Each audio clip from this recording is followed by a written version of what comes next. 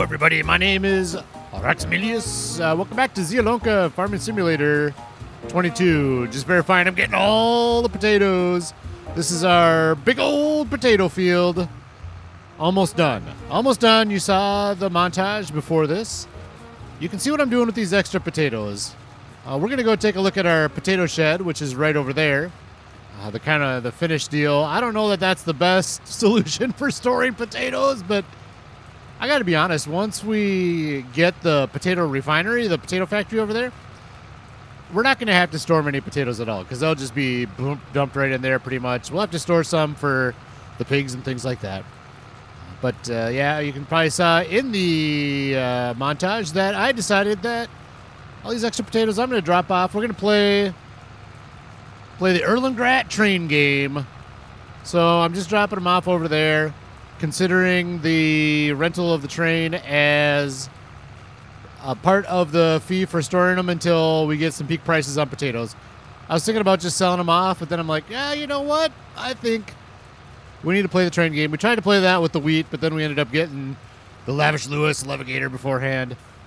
I think there's a very, very small chance that we're going to be able to get the the potato refinery. I like call it the refinery, whatever. Uh, before uh, before it's time to sell these potatoes peak price. So we're not gonna be able to do the the refinery right away because we're gonna go piggies. We're going piggies. The decision's definitely been made. We've already got the the slurry tanker, and we've got. Oh, is this gonna work? Okay, I gotta go like this. Get over there. Oh, it's gonna barely fit in there. Maybe go, go, go. Nope, all the way around. As I was saying, we've already got the slurry tanker and the manure spreader, so we're going piggies for sure. So this is all going to be sold off for profit once we get to peak potato prices, which are in, of course, January. Everything right there. Everything always right there, pretty much. So that's the plan with this. I'm gonna let's finish up this field, and we got a lot to do today. Oh my goodness! August. Uh, let's turn the UI on uh, so you can see what's going on. Um, I'm on August 2nd. It's already 154.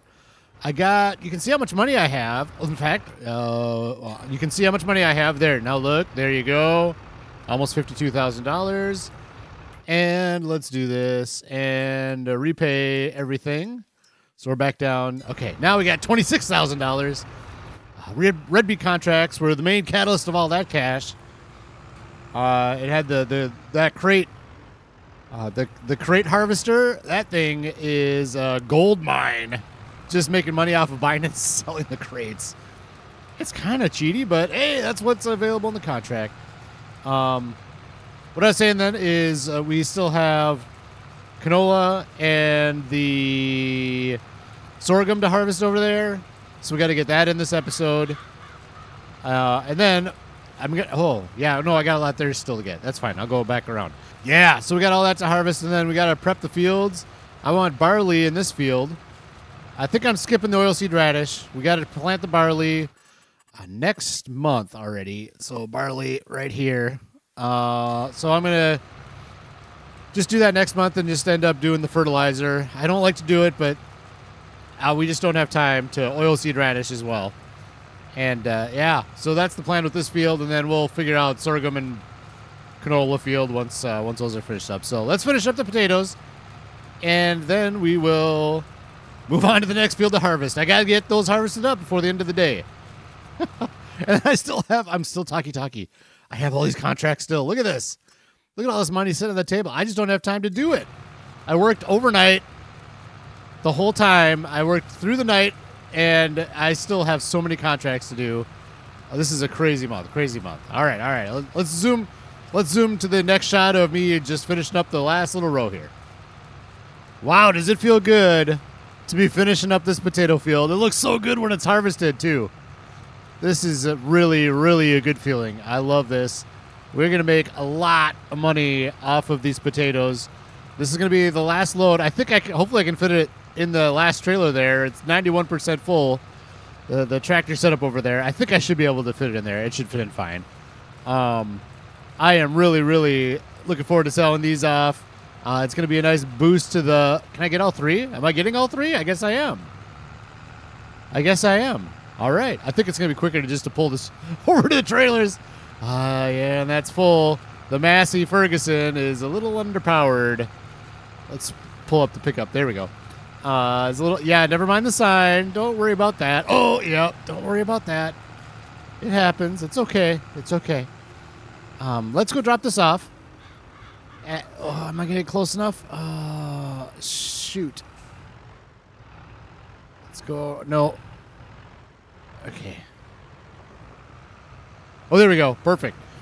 All right, let's go drop this off at the train station and call the potatoes done for the year. Well done, like harvesting.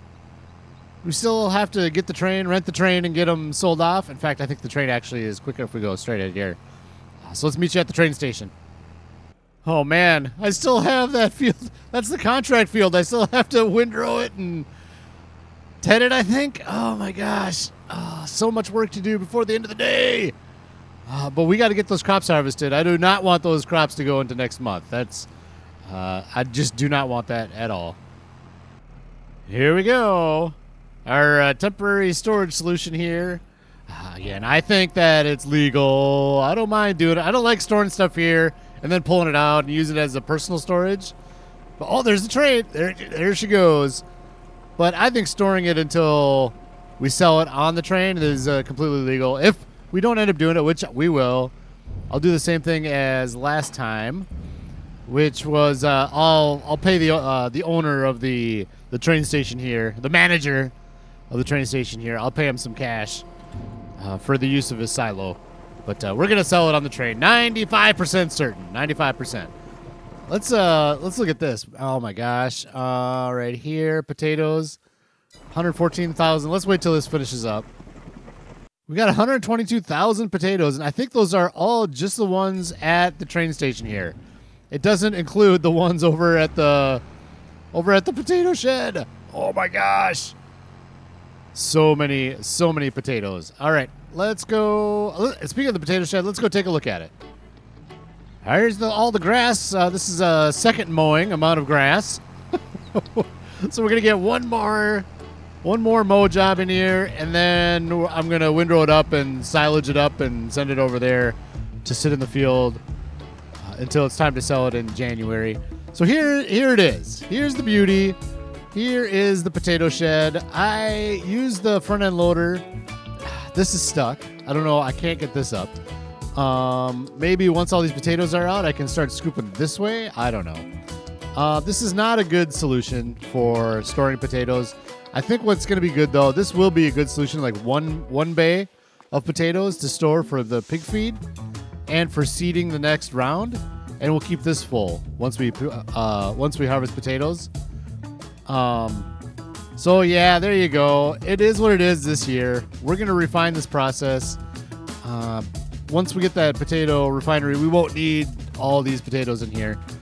We'll just need enough to keep our pigs a quarter of the way fed. We it's not even a full feed with the the pigs. It's a mixture. So I think that'll look really good once we have like one stall of potatoes in there, and then we'll store our gear in there as well. So I think we're gonna keep going with that. I am not real pleased with that solution, but that's kind of the way we're we're going at this point. We need to get we need to get harvesting though. I need to, to get these fields up so we can start prepping for uh, September.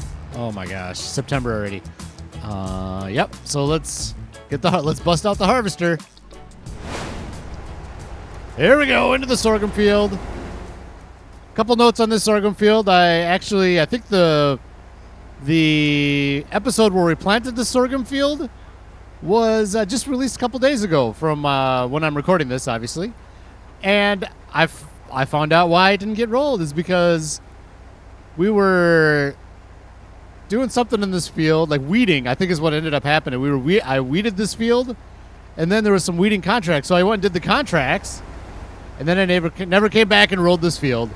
So we have some lost yield on the sorghum field, including this disaster right here.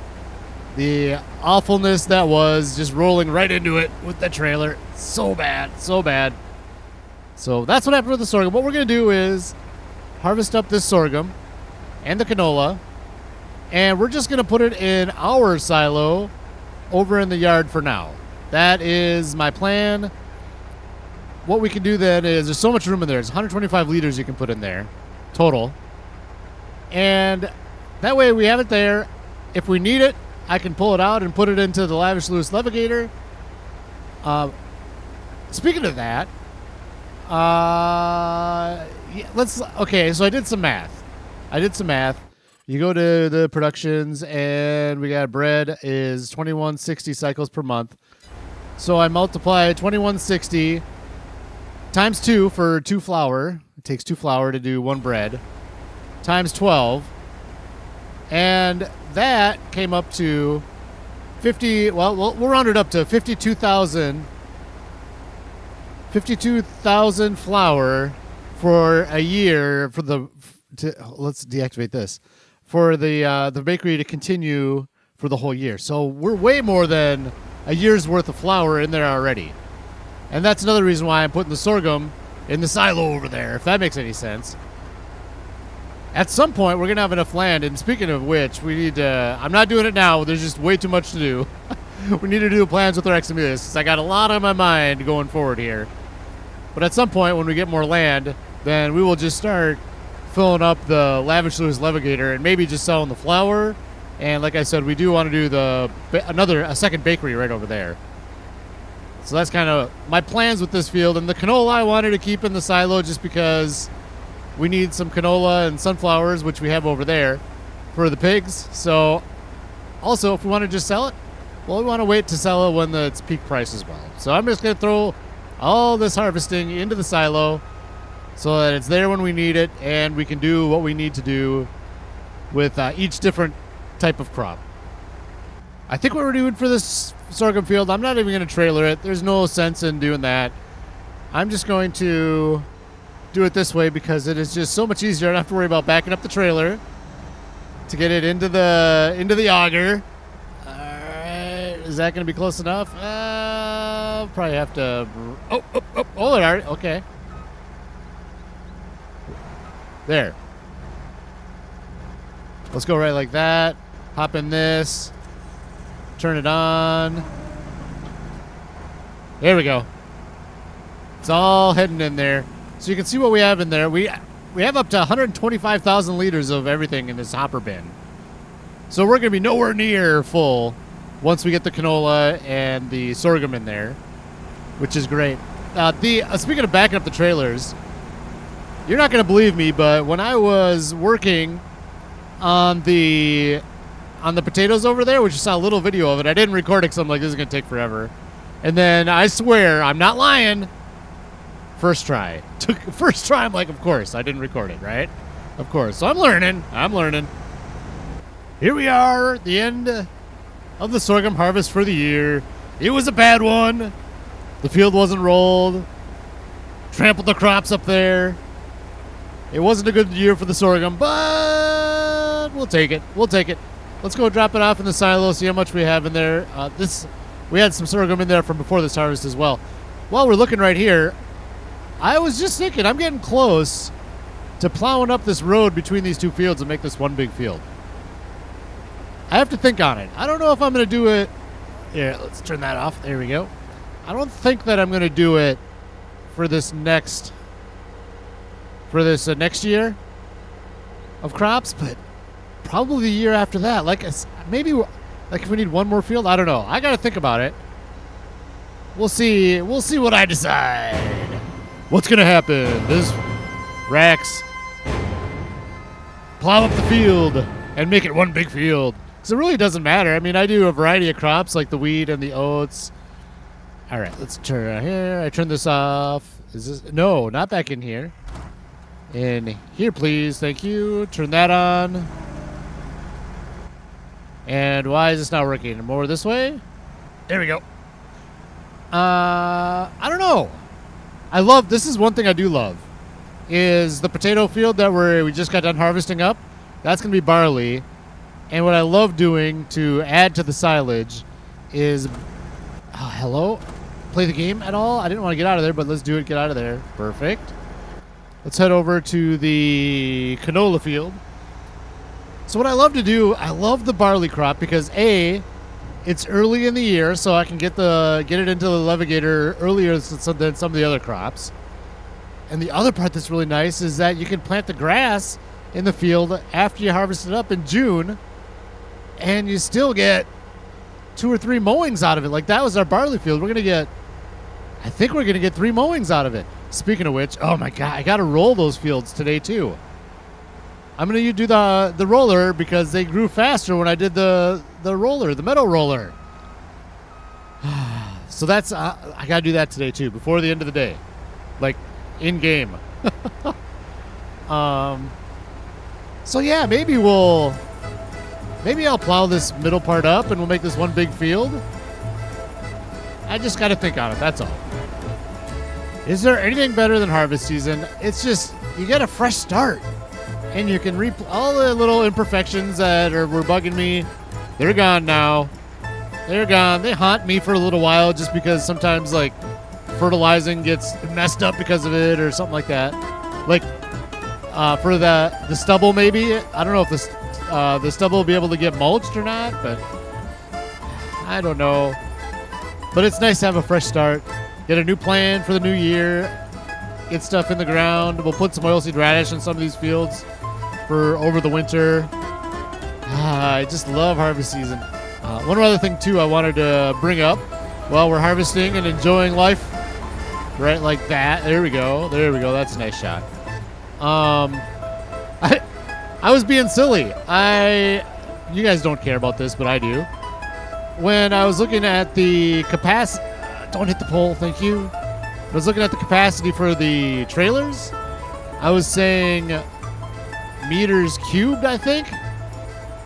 And uh, yeah, believe it or not, I went to school, and uh, it's cubic meters. am I just being silly about that? I think I am. Maybe I am. But uh, it's cubic meters, not meters cubed for volume. It's cubic meters. So there you go. There's your math lesson for the day uh, by the person that's not hasn't done math in a long time. Uh, so there you go. All right, let's finish up uh, canola field, and then uh, I just got to keep cranking out stuff dur- during this day. I can't get up those contracts done yet because I want to make sure I have enough time in the day to get things rolled and get things. Uh, there's one more thing I need to do. Let me think about it. Oh, the other thing I have to do for sure, which I don't have to do it today, is plow the big field, which that's going to take a while. I'll do that on my own, of course. Uh, I don't mind doing it, but there's something that we do have to get done today if we so choose. Do we want to do canola again? if we want to do canola again, I need to put it in today because I don't like to wait that month. That's what happened. The, eh, everything happened in August because canola was I put in a month late last time. So I want to spread it out and get the canola in this month. Make sure that I can get it up and spread everything out. I don't know. I'm just gonna drive the. I'm just gonna drive it over there again. I think that's the best course of action. It's just easier to get it in there. Don't have to back up the dolly trailer.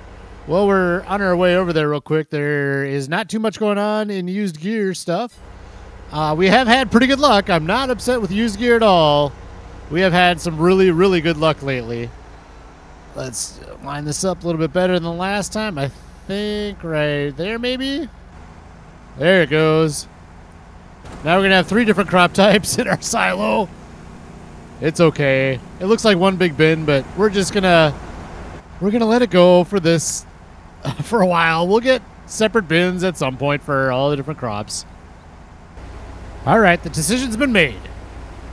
I'm going to replant canola in this field. I'll do that between episodes. And between episodes, I'm also going to roll the two grass fields we have, that one over there and that one behind us. Get those rolled up. Those have to be done on August 2nd. All that work has to be done on August 2nd. So I'm going to get that done between episodes and uh, record little clips of it to throw it in the next episode. Uh, and then uh, I think what we're gonna do is in the uh, the sorghum field there, we're just gonna I'm gonna put some oilseed radish in it for to cover it for the winter. And like I said, barley's going in the field over there, so we're going to. Uh, when do we when do we plant barley? That's got to be soon too, right? Next month. So next episode we'll be planting barley in that big old field. I will, uh, depending on how much time I have, I might wait. I'm gonna wait to to plow it, and we'll. I'll kind of plow some of it together in the next episode. Uh, it seems like that's just maybe a little different process, and it seems like something that'd be good to be in the episode. We're not going to spend all episode plowing, of course. Um, but I think that should be definitely be part of an episode. So that's kind of the plan going forward. But first, we got to finish up all this canola. There we go. We're finishing up the canola. We're almost there. Uh, one thing that I am also going to do between episodes is contracts. I got to finish all those up. Hopefully, we'll get some more beginning in September. So, honestly, you might see me September 1st. Uh, sep- excuse me, September 2nd, depending on how everything times out. I'm going to be on the road, so it's a good time to get stuff done, of course, when I'm on the road. You might see me September 2nd, but I'm not going to do anything to these fields other than what I've told you. We'll get the canola in in uh, the canola field, and we'll get some oilseed radish in this one. Uh, I'll wait to plow the field, and uh, I'm going to roll those fields there. But that's kind of that's kind of where we're at. Oh, the poor horses! The horses have been neglected. The horses have been neglected. So if you look here, I don't think that I ran them on August 1st or 2nd. I might try to get them done today. Uh, we'll see how much time I have once I get everything done. I want to get done for this day. So you can see the cleanliness and the fitness is down just a little bit. Sorry, guys. Sorry. Just too much going on. Too much going on. Now, one thing I found interesting is the the auger is off. I have not turned it on again. I think it just automatically does this. I say that, and now it's not going to work. There we go. It's going in. And if you look up top, it's going. Yep. Oh, oh, oh, oh. Yep, it's going in. I have not turned the auger on, so that is nice. No, you don't have to turn the auger on in order to get it working. So there you go. You learned something new today. Let's turn the harvester off. Take a peek in here. We've got 11,000 canola, which uh, th- that's the, the harvest this year was 11,000. Sorghum, we already had some in there. And barley, we got a good amount in there too. Things are looking great. Things are looking great. Uh, sorry, horses. We'll get to you as soon as I can. I just got too much work to do around the farm. Uh, so that's going to do it for today. I hope you have a fantastic day, and we'll see you in the next episode.